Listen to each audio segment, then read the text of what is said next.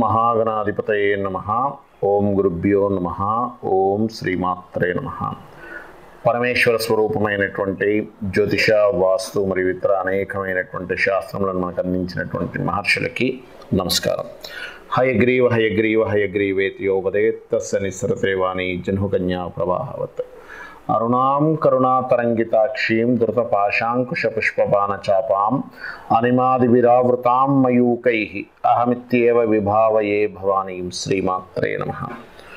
ప్రేక్షకులకి ఆ లలితాంబిక అమ్మవారి యొక్క అనుగ్రహం పరిపూర్ణంగా కలగాలని మనస్ఫూర్తిగా కోరుకుంటూ మనం ఈరోజు చెప్పుకోబోయేటువంటి టాపిక్ ఏదైతే ఉందో మనిషి యొక్క అభివృద్ధికి కానివ్వండి మనిషి యొక్క పతనానికి కానివ్వండి ముఖ్యంగా మూడు భావములు అత్యంత కీలకంగా చూసుకోవాలి. ఏమిటా మూడు భావాలు? చూసుకున్నట్లయితే ఏ మనిషి అయినా సరే ఎదగాలి అంటే చూడండి ఒక పేరు ప్రఖ్యాతలు రావాలన్నా ఎదగాలన్నా ముఖ్యంగా చూసుకోవాల్సింది దశమ భావము. అంటే మీరు ఏం చేస్తున్నారండి? అంటే మీ గుర్తింపు ఎలా వస్తుంది? అంటే మన గుర్తింపు మనం చేసే వృత్తి వల్ల వస్తుంది మనం చేసే కర్మ వల్ల వస్తుంది. నేను ఫలానా కలెక్టర్ గారు అనగానే కలెక్టర్ గారు అంటాం. మనిషిని చూడడం అతనికి ఉన్నటువంటి పోస్టుని చూస్తాం. లేదా సీఎం అంటాం లేదా పిఎం అంటాం. లేకపోతే ఒక ఆఫీసర్ అంటాం. అలాగే మనం చేసే కర్మ అంత ముఖ్యమైనది అంటే దశమభావం ఈజ్ మోస్ట్ ఇంపార్టెంట్ మరి ఎవరైనా సరే ఈ దశమభావాన్ని ఎనీ లగ్న పన్నెండు లగ్నాల్లో మేషం నుంచి మీనం వరకు ఉన్న అన్ని లగ్నాల్లోని కూడా దశమ స్థానాధిపతి బాగుపడాలి అంటే మీరు ముఖ్యంగా చేయాల్సింది మీ లగ్నం నుంచి దశమాధిపతి ఎవరు అనేటువంటి చూసుకోవాలి గుర్తుపెట్టుకోండి. అంటే మేషానికి శని వృషభానికి శని మిథునానికి గురువు కర్కాటకానికి కుజుడు సింహానికి కూడా శుక్రుడు కన్యారాశికేమో బుధుడు తులారాశికి చంద్రుడు వృచ్చికానికేమో రవి ధనస్సుకేమో బుధుడు అగైన్ అదేవిధంగా మకరానికి శుక్రుడు కుంభానికి కుజుడు మరియు మీనానికి గురువు అవుతాడు. అంటే ఈ దశమాధిపతి ఉన్నటువంటి గ్రహానికి వెళ్ళి మీరు దీపారాధన చేయాలి గుర్తుపెట్టుకోండి. ఇట్ ద సేమ్ టైం నాకు జాతకం తెలియదండి దశమాధిపతి ఎవరో తెలియదు అని అనుకున్నప్పుడు లలితా సహస్రనామాల్లో మొదటి నామం ఉంటుంది. ఓం శ్రీమాత శ్రీ మహారాజ్ని శ్రీమత్ సింహాసనేశ్వరియే నమ అనేటువంటిది. ఈ నామాన్ని రెగ్యులర్గా మీరు హాఫ్ అన్ అవర్కి తగ్గకుండా కనుక చేసినట్లయితే ఖచ్చితంగా మీరు అనుభవిస్తున్నటువంటి ఇబ్బంది ఏదైతే ఉందో ప్రొఫెషనల్గా ఉద్యోగరీత్యా ప్రమోషన్ రావట్లేదనో సరైన ఉద్యోగం దొరకటం లేదనో లేకపోతే ఉద్యోగంలో ఉన్నప్పటికీ వైరాగ్యంగా చేస్తూ ఉంటారు ఒక్కోసారి. అటువంటి ఇబ్బందుల నుంచి తొలగిస్తుంది. ఒకటి దశమ స్థానం. రెండవది ముఖ్యంగా ధనస్థానం. ధనం మూలం మిదం జగత్ అంటూ ఉంటారు. అంటే ఏమిటి? మనకి మనకి ఏ అవసరం ఉన్నా తీర్చుకోవాలి అంటే ప్రాణం అంటే మనం కొను కొనుక్కోలేం కానీ మిగతా అవసరాలన్నీ ఏం కొనుక్కోవాలి ఏం కావాలన్నా ధనం కావాలి. మనకి చూడండి సొసైటీలో ఇవాళ రేపు మీకు వాల్యూ ఇచ్చేటువంటిది కూడా ధనంతోనే ఇస్తూ ఉన్నారు. అంటే వేరే వాటితో వాల్యూ రాదని కాదు మన విద్య వల్ల వస్తుంది మన క్యాటర్ వల్ల వస్తుంది వస్తుంటాయి. కానీ మనం ఏదైనా సరే ఒక హౌస్ కొనుక్కోవాలని ఏం చేసుకోవాలన్నా ధనం. మరి ఈ ధన సంబంధించినటువంటిది ప్రతి జాతకంలో రెండవ స్థానాధిపతి అని ఉంటారు. ఆ రెండవ స్థానాధిపతి ముఖ్యంగా బాగుండాలి ఇందాక నేను చెప్పినట్టుగా దశమ స్థానాధిపతి ఎలాగో ఇక్కడ రెండవ స్థానాధిపతి. దశమ స్థానాధిపతితో పాటు శనిని చూసుకోవాలి ఇక్కడ రెండవ స్థానాధిపతితో పాటు శుక్రుడిని ఖచ్చితంగా చూసుకోవాలి ఇక్కడ. అలాగే రెండవ పోర్ట్ఫోలియో అంటారు జ్యోతిష్ శాస్త్రంలో. అది క్యాలిక్యులేటివ్ ద్వారా తెలుస్తుంది బయటకు కనబడేటువంటి విషయం కాదు సో ఈ గ్రహాల యొక్క స్థితిలో రెండవ స్థానాధిపతి ఎవరు? ఇక్కడ ముఖ్యంగా ఏంటంటే ఈ రెండవ స్థానాధిపతి ఎవరో తెలిస్తే కానీ మీకు ఎలా డబ్బులు వస్తాయో అర్థం కాదు. అంటే ఉదాహరణకి రవి అనుకోండి రెండో పోర్ట్ఫోలియో రవి గవర్నమెంట్ వాటి మూలంగా ధనం వచ్చే యోగం ఉంటుంది. లేదా మెడికల్ మూలంగా ధనం వచ్చే యోగం ఉంటుంది. చంద్రుడు అనుకోండి ఫార్మసీ రిలేటెడ్ సంబంధించినటువంటి లేదా ట్రావెలింగ్ రిలేటెడ్ కుజుడైతేనేమో పర్టికులర్గా మీకు రియల్ ఎస్టేట్ రిలేటెడ్ బుధుడైతేనేమో వ్యాపారాలు గురువు అయితేనేమో teaching related or any guiding related శుక్రుడైతే కళారంగ సంబంధించినటువంటి. శని అయితేనేమో ఎనీ కన్సల్టెన్సీ రిలేటెడ్ లేకపోతే ఏదైనా జాబ్ చేసుకోవడము. రాహుకేతువులు అయితే విదేశాలు ఫార్మసీ సినిమా ఫీల్డ్ ఇట్లాంటి వాటి వల్ల కూడా వస్తూ ఉంటుంది. అంటే ఇక్కడ ఏమిటి? ఫస్ట్ అసలు మీ జన్మజాతకంలో సెకండ్ లార్డ్ ఎవరు? సెకండ్ పోర్ట్ఫోలియో ఎవరు? ఏ మార్గం ద్వారా డబ్బులు వస్తుంది అనేటువంటి ముఖ్యమైనటువంటి భావం కూడా రెండో భావం. ఇది కూడా చూసుకోవాలి. ఇక మనం కర్మ చేస్తున్నాము డబ్బులు సంపాదిస్తున్నాము అనుభవిస్తామా లేదా అని చెప్పి చెప్పేది పదకొండో భావం. అంటే మనిషి ఎంజాయ్ చేస్తాడా? చేయడా? ఊరికే కష్టపడుతూ ఉంటారు కొంతమంది. పొద్దు నుంచి సాయంత్రం వరకు కష్టపడడం ఆయన పని అవుతుంది కానీ ఎంజాయ్ చేయడం అనేటువంటిది ఉండదు. సుఖం అనేటువంటిది ఉండదు. సుఖపడతారా సుఖపడరా మనిషి అంటే అది చూసేది లెవెంత్ హౌస్ ద్వారా తెలుస్తుంది. అంటే ఎంజాయ్ చేయడం ద్వారా. మనకి రెండు బాగున్న పదకొండో స్థానం బాగాలేదు వేస్ట్ అయిపోతుంటుంది. కాబట్టి ఏంటి? పదకొండో స్థానం మీకు బాగుండాలి అంటే ముఖ్యంగా మీరు గుర్తుపెట్టుకోండి ఈ లెవెంత్ లార్డ్ ఎవరో తెలుసుకుని దానికి సంబంధించిన ఆ గ్రహానికి సంబంధించినటువంటి దీపారాధన చేయాలి. అంటే లగ్నం నుంచి పదకొండో స్థానం అయితే ఇందాక నేను మీకు ఫైనాన్షియల్ దాని గురించి లలితహాస నామాల్లో ఒక నామం ఉంటుంది. ఏమిటది అంటే ఓం సంపత్కరీ సమారూఢ సింధుర వ్రజ సేవితాయే నమ. ఈ నామాన్ని ఎంత మీరు చేస్తూ ఉంటే మీకు అంత చక్కగా ఫైనాన్షియల్ గ్రోత్ అనేటువంటిది పెరుగుతూ ఉంటుంది. ఇక లెవెంత్ లార్డ్ ఎప్పుడు మీకు యాక్టివేట్ అవుతాడు ఏమిటి అని చెప్పి చూసుకున్నట్లయితే ఇప్పుడు మీ ఉదాహరణకి మీ జన్మజాతకంలో పదకొండవ స్థానాధిపతి పాడైపోయాడు. అసలు ఆనందమే లేదండి నా లైఫ్లో. ఎంత ప్రయత్నం చేస్తున్నా సరే ఆనందం లేకుండానే నా జీవితం అలా వెళ్ళిపోతూ ఉంది.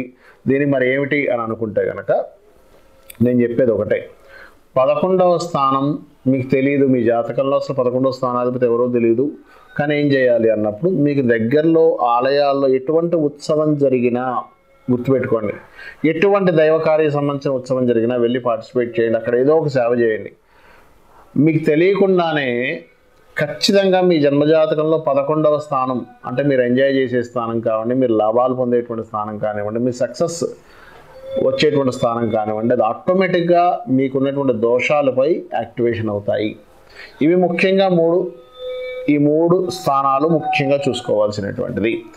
మరి మిగతా మూడు స్థానాలు కూడా ఉంటాయి. ఏమిటా మిగతా మూడు స్థానాలు? అంటే మూడో స్థానం అంటే దారిద్ర స్థానము.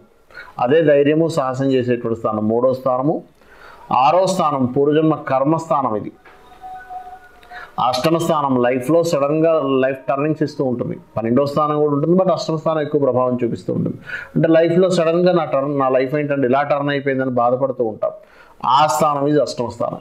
సో ఈ మీ మూడో స్థానము ఆరో స్థానము అష్టమ స్థానాధిపతులు డియాక్టివేషన్లో ఉన్నప్పుడు ఏమవుతుంటుందంటే అనవసరమైన భయాలు మీకు పెరుగుతూ ఉంటాయి.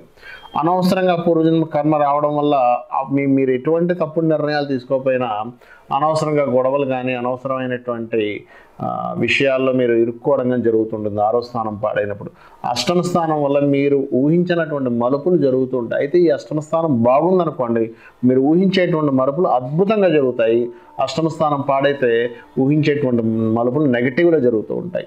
సో ఈ మూడు గ్రహాల్లో మీకు ఎగ్జాంపుల్ ధైర్యం సరిపోవట్లేదు. దుర్గా ఆరాధన చేయండి. ఓం దుర్గాయ నమః అని చెప్పి చేయండి. లేదా మీరు ముఖ్యంగా కనకాంగద కేయూర కమనీయ భుజాన్విత అనేటువంటి నామం ఉంటుంది లలితహాస్త్ర నామాల్లో ఓం కనక అంగద కేయూర కమనీయ భుజాన్విత అంటే భుజములకు వేసుకున్నటువంటి బంగారు ఆభరణాలు అమ్మవారు ధరించి ఉంది. ఆ అమ్మవారు ధరించినటువంటి ఆ యొక్క ఆభరణాలని నేను స్మరిస్తున్నాను అని చెప్పి ఎప్పుడైతే అనుకుంటూ ఆ నమ అనేటువంటి ఆ అమ్మవారికి నమస్కరించుకున్నట్లయితే మీలో ఉన్నటువంటి భయాలపై ధైర్యం అనేటువంటిది పెరుగుతుంది. అదేవిధంగా ఆరో స్థానం పాడైతే ఏమవుతుంది అంటే అప్పులు పెరుగుతుంటాయి. అలాంటి సమయంలో ఓం అపర్ణాయై నమ అనేటువంటి నామస్మరణ మీ అప్పులు బాధల నుంచి బయటపడేస్తుంది. అదేవిధంగా అష్టమ స్థానం ఆకస్మికమైనటువంటి టర్నింగ్స్ జరుగుతున్నాయండి. ఏమిటి ఏం చేయాలంటే ఉంటే కనుక మీరు షష్ఠి నాడు గనక సుబ్రహ్మణ్యేశ్వర స్వామి యొక్క ఆరాధన చేయడము లేదా అష్టమీ చంద్ర విభ్రాజ అలికస్థల శోభితాయే నమః అనేటువంటి నామస్మరణ గనక చేసినట్లయితే మీకు ఖచ్చితంగా ఆకస్మికమైనటువంటి ఇబ్బందుల నుంచి బయటపడడం జరుగుతుంది. కుంభలగ్నము కుంభరాశి. కుంభం ఏదైతే ఉంటుందో రీసెర్చ్ సైన్గా చెప్తుంటారు వృచ్చిక లగ్నాన్ని ఒకటి కుంభ లగ్నాన్ని ఒకటి. అయితే ఈ కుంభంలో జన్మించామండి. మాకు శని భగవానుడు యొక్క అనుగ్రహం ఏ రకంగా జరుగుతుంది? శని భగవానుడిని మేము ప్రసన్నం చేసుకోవాలంటే ఏం చేయాలి? ఇవన్నీ కనుక చూసుకున్నట్లయితే ఇక్కడ లగ్నం తెలిస్తే లగ్నం నుంచి చూసుకోండి. లేనట్లయితే రాశి అందులో ఉండే నక్షత్రాలు ధనిష్ట మూడు నాలుగు పాదాలు శతభిష నక్షత్రము పూర్వాభాద్ర ఒకటి రెండు మూడు పాదాలు. ఈ యొక్క రాశి ఆర్ ఈ యొక్క నక్షత్రాలు ఈ లగ్నం వారు ముఖ్యంగా శని భగవానుడు అనుగ్రహం మీరు కలగాలి అంటే మీరు ఉన్న ప్రదేశం నుంచి మారాలి. ఉన్న ప్రదేశం నుంచి వేరే ప్రదేశానికి మారాలి. ఏది వృత్తికారకుడైన శని భగవానుడు అనుగ్రహం కర్మకారకుడైన అనుగ్రహం కలగాలంటే ఒకటి. రెండవది ఏమిటంటే మీరు పర్టికులర్గా మీకు దగ్గరలో ఏదైనా వెంకటేశ్వర స్వామి ఆలయం కనుక ఉన్నట్లయితే ఎక్కువగా అక్కడికి వెళ్ళి ప్రదక్షిణాలు ఎక్కువగా చేస్తుంది వీలైన ఎక్కువ ప్రదక్షిణాలు చేయండి. అయితే శాస్త్రంలో మూడు ప్రదక్షిణాలు చేయాలి ఒక ప్రదక్షిణ చేయాలి కొన్ని కొన్ని చెప్పబడింది. కాకపోతే ఇక్కడ మీరు కర్మను తొలగించుకునేటువంటి ప్రక్రియ కాబట్టి ఎంత మీరు వాకింగ్ చేస్తూ ఉంటే అంత తొందరగా మీకు శని భగవానుడి యొక్క అనుగ్రహం తొందరగా పెరుగుతుంది గుర్తుపెట్టుకోండి. ఎందుకంటే ఈ పాదాలకి మోకాళ్ళకి వీటన్నిటికీ అంటే ఈ మోకాళ్ళ భాగం నుంచి కింద భాగానికి శని భగవానుడు కారకుడు అవుతాడు మర మరలా పాదాల దగ్గరికి వచ్చేసరికి గురువు అవుతాడు. లేండి that is different case but కాళ్ళకి మాత్రం శని భగవానుడు అవుతాడు.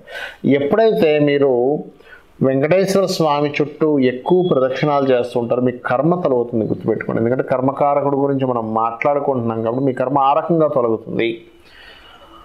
అదేవిధంగా మరొక విషయం ఏంటంటే నేను చెప్పినట్టుగా సేవలు ఏదైనా చేయడం.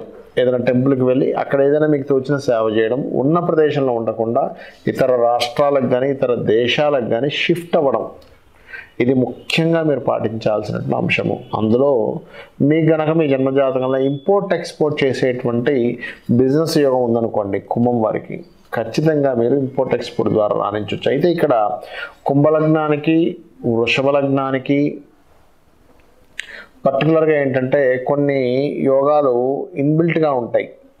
కుంభానికి కానీ అదేవిధంగా వృషభానికి కానీ వృచ్చికానికి కానీ కొన్ని ఉన్నాయి. అదేవిధంగా సింహానికి ఇట్లా. వృషభము సింహము కుంభము మన వృచ్చికము. ఈ లగ్నాలకి ఏంటంటే ఇన్బిల్ట్గా షేర్ మార్కెట్లో కలిసి వచ్చే యోగం ఉంటుంది. అయితే ఇక్కడ వీళ్ళు ఏంటంటే అంటే కుంభలగ్నం వచ్చింది కాబట్టి చెప్తున్నాను. వీళ్ళు పర్టికులర్గా ఏంటంటే ఈ కుంభలగ్నం వారు గురుబుధుల్ని మకర వృషభ లగ్నం వారు కానీ సింహలగ్నం వాళ్ళు కానీ వృశ్చిక లగ్నం వాళ్ళు కానీ ఈ నాలుగు రాసుల వాళ్ళు గురుబుధులు బాగుంటేనే చేయాలి. ఎందుకంటే ఇట్ సెల్ఫ్ వీళ్ళకి ఎక్కువ ఇంట్రెస్ట్ ఉంటుంది. షేర్ మార్కెట్లోకి వెళ్ళాలి ఏదో ఎక్కువ సంపాదించాలి. రకరకాల పెద్ద పెద్ద వాళ్ళని ఇన్స్పైరింగ్గా తీసుకుంటారు. వాళ్ళు ఇన్ని కోట్లు సంపాదించాలి అన్ని కోట్లు సంపాదించారు. ఎందుకంటే వీళ్ళకి ఇన్బిల్ట్ యోగం అది ఉండడం వల్ల. మీరు ఎప్పుడైతే ఈ గురుబుధులు బాగుంటే ఎంటర్ అయితే బాగుంటుంది ఈ గురుబుధులు బాగోకపోతే ఇబ్బంది పడతారు. ఇది పర్టికులర్గా ఎందుకు చెప్తున్నానంటే వీళ్ళ కర్మ ఏ రకంగా ఇరుక్కుపోతారు కూడా ఈ కర్మల్లో తెలియక చేయడం వల్ల. ఈ షేర్ మార్కెట్ అనేది కదా బిట్ కాయిన్ కావచ్చు రకరకాల ఇప్పుడు ఈ ఆన్లైన్లో చాలా గేమ్స్ అవి వచ్చేసి వాటి వల్ల కూడా ఇబ్బంది పడతారు. అంటే ఈ పర్టికులర్గా ఈ గురుబుధులు బాగుంటే వెళ్ళొచ్చు. చాలామంది క్యాజినోలు ఆడే వాళ్ళు ఉంటారు. కొంతమందికి అదృష్టం బాగుండి విపరీత రాజ్యోగాలు వచ్చిన వాళ్ళని నేను చూశాను వాళ్ళు క్యాజినోలతోనే వాళ్ళ జీవితం అద్భుతంగా వెళ్ళడం అనేటువంటిది నేను చూశాను. అయితే ఈ పర్టికులర్ కుంభం వారు షేర్ మార్కెట్కి వెళ్ళేటప్పుడు మాత్రం చాలా కేర్గా వెళ్ళాలి. అదేవిధంగా నేను చెప్పినటువంటి నామాల్లో ముఖ్యంగా వెంకటేశ్వర స్వామి నామము ఎక్కువగా ప్రదక్షిణాలు చేయడము వీటితో పాటు అమ్మవారి యొక్క నామాల్లో ముఖ్యంగా లలితా సహస్రనామాలు పూర్తిగా చదువుతూ అమ్మవారి పాదాల వంకే చూస్తూ ఆ లలితా సహస్రనామాలు పూర్తిగా చదువుతూ ఒక్కొక్క పుష్పాన్ని వేస్తూ ఉండండి. మీరే చూస్తారు మీ లైఫ్లో అద్భుతమైనటువంటి చేంజ్ అనేటువంటిది.